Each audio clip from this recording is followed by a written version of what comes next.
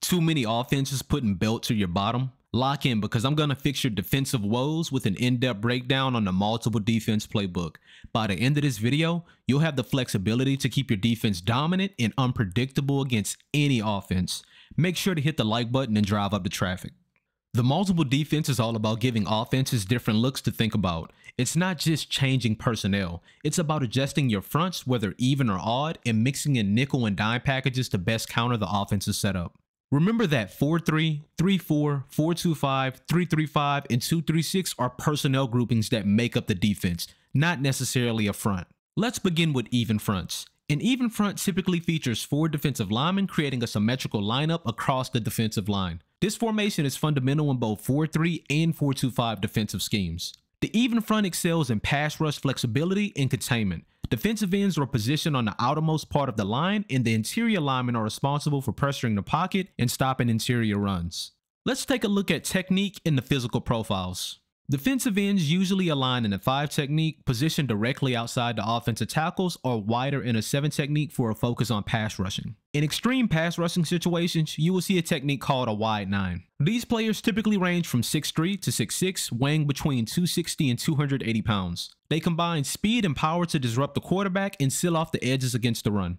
Defensive tackles often align in the 3 technique on the outside shoulder of the guards to penetrate the backfield or in the 1 technique, aka a shade, to put internal pressure on the pocket and prevent runs up the middle. These guys are heavier and bulkier, ranging from 290 to 320 pounds, positioned to clog the middle and disrupt the quarterback. These players are the beef of your line and can also be dynamic pass rushers in their own right. Even fronts rely on the defensive line to stop the run and pressure the quarterback. Each player has a specific gap to defend and can use stunts and shifts to disrupt the offensive line. This provides freedom to create pressure without needing extra players to blitz, making the defense more versatile and problematic. Some drawbacks occur when facing teams that use spread alignments to exploit gaps. If the front four can't win their one-on-one matchups, it can lead to giving up chunks of yardage. Effectively mastering the even front can turn your defense into a powerhouse, but failure to do so can leave you vulnerable. Switching to an odd front, this alignment usually features three linemen, with the central figure often being the nose tackle positioned directly over the center. This setup is for controlling the core of the offensive line and is primarily used in 3-4 schemes. The nose tackle is the anchor of the odd front. He's tasked with engaging multiple blockers and typically weighs 320 to 360 pounds. Their job is to clog up the middle, preventing direct runs and pressuring the pocket. The defensive ends are positioned outside the guards in a 5 technique, and these ends are slightly larger than their even front counterparts. They balance duties against the run and the pass. Their assignment to 2 gap is important, as they must control the line and respond to the play's direction.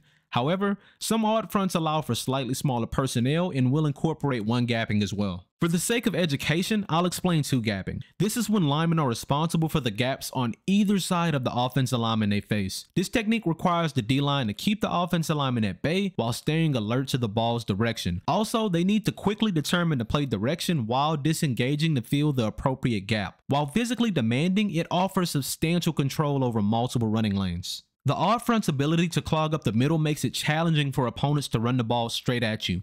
Plus, with the front three taking up so much attention in space, it frees up your linebackers to swoop in for tackles or sneak into the backfield on blitzes. But like any strategy, it has its weak spots. Since these three linemen have a lot on their plates, including possibly covering two gaps each, it demands a lot from them physically and mentally. If they don't hold their ground or get tired, gaps can open up quickly and the defense can leak yards. Also, because the odd front relies on the linebackers to handle a lot of the variability in coverage and blitzing, the defense can be exposed if they don't read the play correctly or react quickly enough. Here is where things get fun. If offenses can get creative, why can't defenses? That's why more and more teams are implementing hybrid fronts. A hybrid front in football is a defensive alignment that switches between having three or four down linemen and helps defenses adapt to different offensive schemes. This setup can include heavier sets like a 52 front, where outside linebackers effectively become additional pass rushers. Hybrid fronts keep the offense guessing, making it difficult to predict where the defense is attacking. Hybrid fronts call for athletic players who can do multiple things, often called hybrids or tweeners. These versatile players can adapt to various roles, making the defense more unpredictable and dynamic. The most common examples include the jack, star, and a bandit. A jackbacker is a defensive end slash linebacker hybrid who can rush the passer, set the edge against the run, and drop into coverage. The jack combines speed and strength to handle multiple responsibilities and can range from 6'3 to 6'5 and weigh anywhere from 250 to 270 pounds. The star position is interchangeable between linebacker and safety. They must cover receivers, play the run, and blitz effectively. They are most known for being a jack of all trades. These players usually range from 6 feet to 6 foot 3 and 205 to 230 pounds. The bandit is an emerging role in schemes for superior athletes. This position is designated for being a defender who can cover receivers and tight ends as a nickelback, read flow and make tackles as a linebacker, but is also strong and physical enough to play defensive end. The perfect example is former Clemson star Isaiah Simmons. Their build is anywhere from 6'3 to 6'6 and weigh 220 to 245 pounds.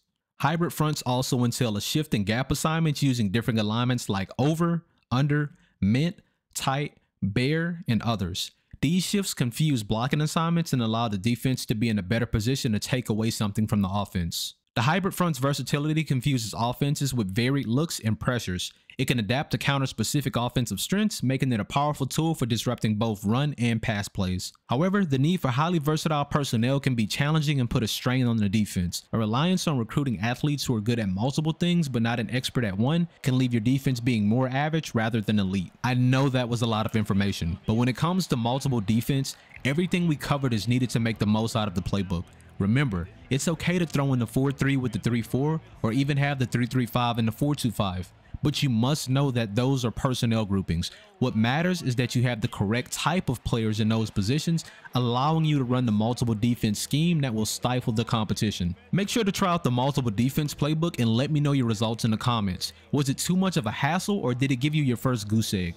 If you didn't like the scheme, please watch all of my other defensive breakdowns. I'm sure you'll find the perfect one for you. Remember to like, subscribe, and hit the bell for my notifications as we accept the challenge of hitting 10,000 subs before the year ends. Catch you guys in the next video. Senpai out.